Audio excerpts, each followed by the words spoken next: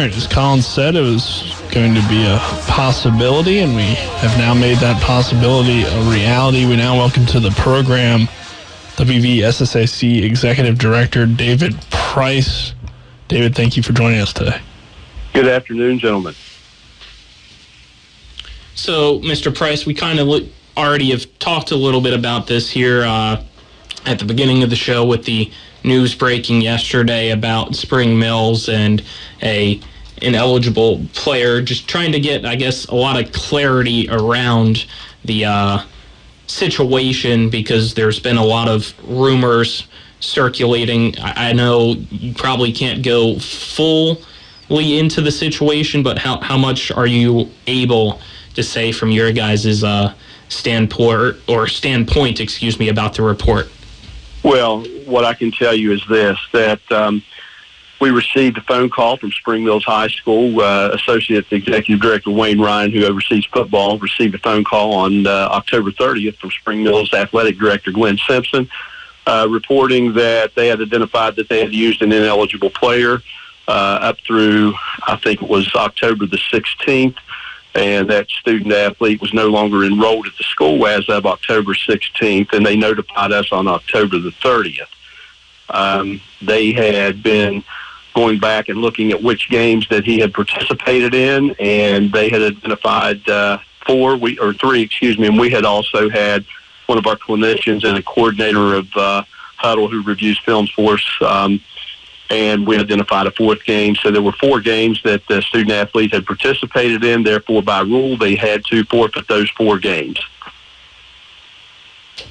Can you clarify the eligibility rules? What makes a player ineligible and what well, makes them eligible? I, yeah, I think a lot of times people think it's just grades, but it's also residence, uh, guardianship, residence transfer. There's a lot of different factors that come into that as well. And, um, uh, we found out that uh, it would be guardianship and residence transfer that played into these two components, and it would get, get further into detail, but uh, which I can't go at this point. But those are the two portions of the rule that um, were um, in play here.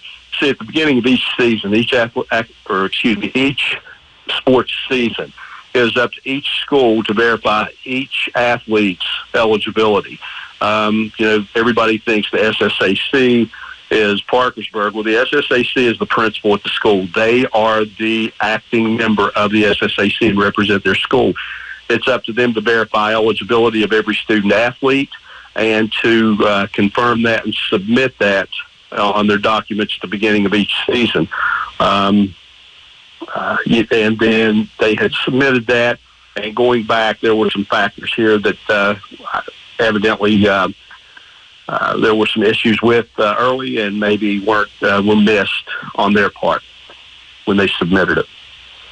And we asked for uh, before making any decisions. I will clarify this: before making any decisions, we asked for all of that information so that we could go through and verify different things too before we made a final decision.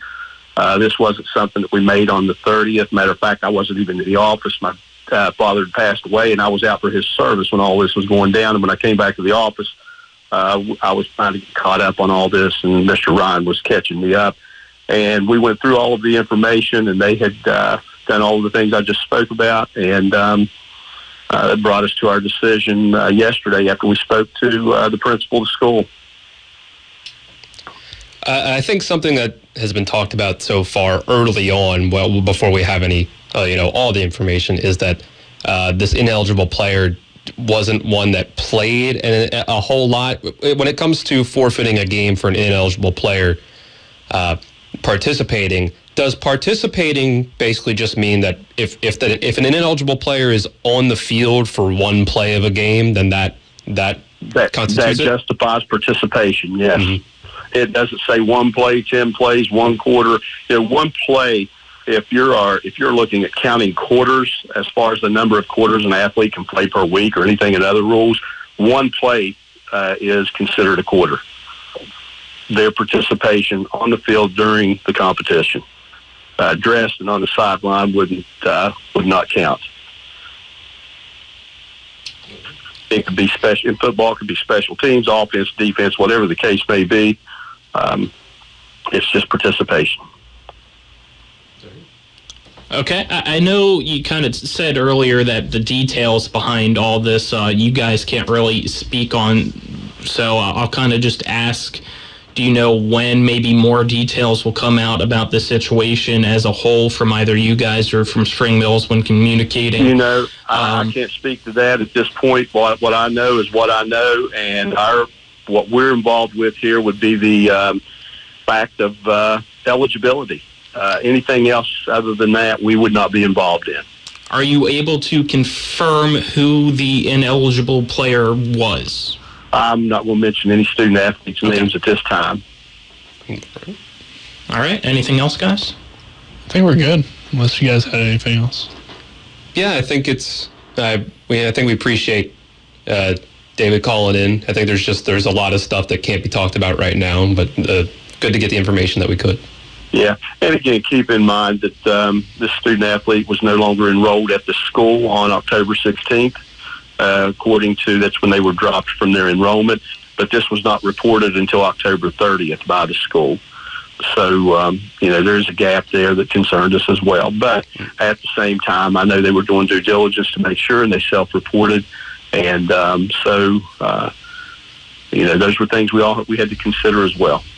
I believe Nick has one more thing quickly, Mr. Yeah, I, I guess just the only other thing that maybe some people uh, may, I guess, have some sort of issue with is that obviously Spring Mills is an eight and one football team, uh, but now they're going to be four and five. So how that impacts the playoffs and the fact that teams would have to face a team that probably is one of the better teams of the state in the first round. I guess. Well, you know, it, it it does affect, unfortunately, but um, you know, again, it's not the SSAC's fault that this occurred. We just have to respond to it, and um, unfortunately, we have to respond in this way. I've noticed uh, in reports that I had, um, you know, uh, fortunately, in uh, for Spring Mills at this point.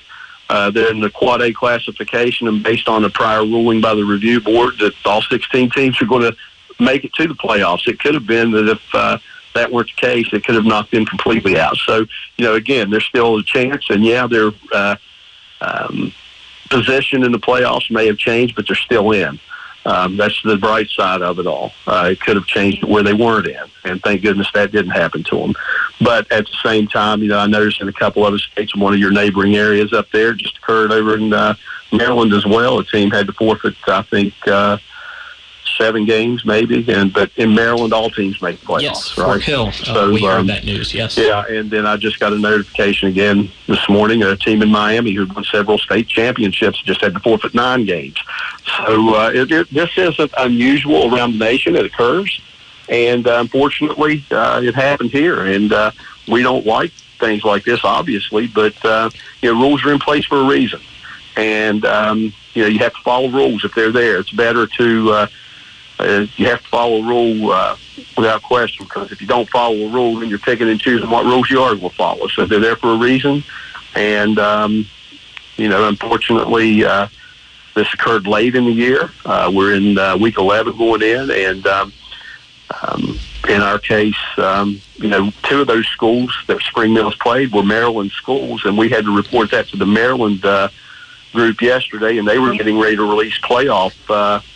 Seatings yesterday at two o'clock, and we had to contact their office yesterday about eleven. So it did uh, change some things for them as well, and um, so um, you know it, this isn't what this isn't taken lightly because it doesn't just affect Spring Mills High School. It affects 15 other high schools in West Virginia as far as the ratings go, and it affects schools outside of the state because Spring Mills does play uh, schools uh, in Maryland, Virginia, and so on.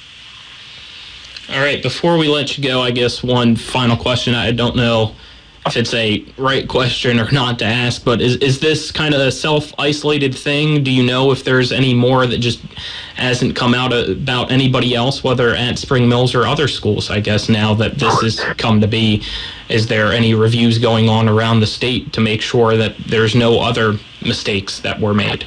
Right now, as far as eligibility goes, it's the only one that's been reported to us and that we are dealing with as far as ineligible players uh, participating in fall sports. Now, I will say there have been other sports where self-reporting has taken place uh, in soccer. Um, uh, Spring Mills did have a couple of ineligible players participating in soccer early on, and self-reported. Um, so, you know, we're dealing with some of that as well. And um, but early, that was early on in the first couple of matches. They had to forfeit a couple games early. Um, so, you know, this is um, not the first time they've dealt with this this year at their school. All right. Thank you for the time. Thank you, Mr. Price. All right. Thank you all. Have a great day. Thank you. You too.